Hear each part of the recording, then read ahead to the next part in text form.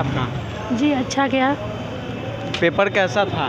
बहुत अच्छा था। क्वेश्चन क्वेश्चन कैसा था? और उसके बाद है सो सी में है सो देख सकते हैं हम के एस एग्ज़ाम सेंटर पे है इन लोगों से जानेंगे कैसा रहा एग्ज़ाम कैसा गया पेपर आपका जी अच्छा गया। पेपर कैसा था? बहुत अच्छा था। क्वेश्चन क्वेश्चन कैसा था? अच्छा। टॉप था या मॉडरेट कह सकते हैं इसको। Moderate था। हाँ एन भी था और थिंकिंग बेस्ड भी था। सी जो है थिंकिंग बेस्ड ही था। C D P thinking base था। मैथ कैसा था? मैथ तो इजी था। मैथ ही था? हाँ।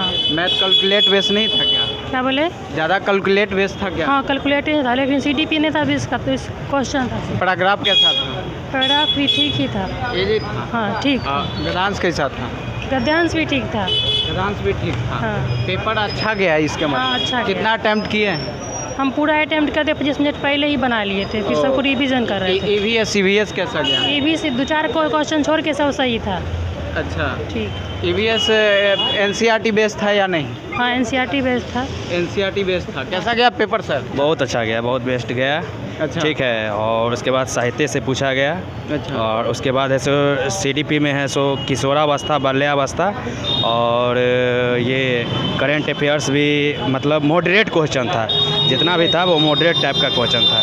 कहीं कोई प्रॉब्लम नहीं हुआ और उसके बाद पैसे से पूछा गया उसके बाद एक्टिव वॉइस पैसिव वॉइस से पूछा गया उसके बाद प्रीपोजिशन से पूछा गया। चलिए आपका कितना आ जाएगा सर लगभग लगभग वन थर्टी प्लस आ जाएगा। वन थर्टी प्लस आ जाएगा। वेदवान जो कि हम लोग का हाँ, रोहित वेदवान से पढ़ते थे अच्छा से क्लास करते थे तैयारी अच्छी थी बेहतरीन सर एक मिनट सर और क्वेश्चन जो कुछ बता दीजिए जो अ, यह थी मैथ में था कैलकुलेट बेस से जोड़ घटाव गुना भाग कहाँ मैथ में सब बेस्ट क्वेश्चन था। वन से प्राइमरी का जो लेवल होता है बस वही था। वही था। हाँ और कुछ नहीं था बोर्ड मास से भी था क्या?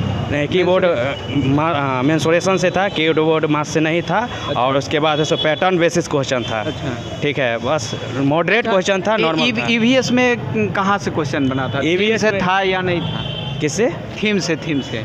थीम थीम से नहीं था। नहीं था। थीम से उसके बाद आपका ही। अथी से था एक्टिन खेती या राज्य से संबंधित? हाँ राज्य से संबंधित था। राज्य से वो इस सेंटेंस में था। सेंटेंस बेसिस क्वेश्चन था राज्य से जैसे राज मतलब ऑप्शन में था राजस्थान था मतलब जो भी था राज्य से रिलेटेड था। जो भी सी टेट का तैयारी की हुई है ई जस्ट लाइक उसी तरह था। आ, आने वाला अभ्यर्थी को क्या कहिएगा? क्या पढ़ के आना चाहिए उसको?